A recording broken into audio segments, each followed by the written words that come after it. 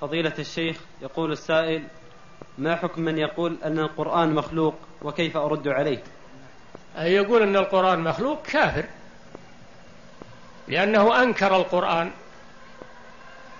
أنكر القرآن أنكر كلام الله سبحانه وتعالى وكلام الله صفة من صفاته جل وعلا ومن أنكر صفة من صفات الله فهو كافر.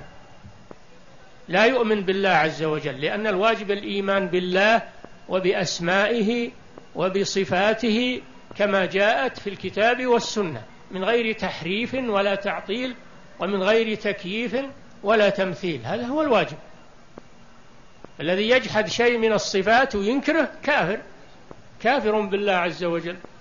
نعم.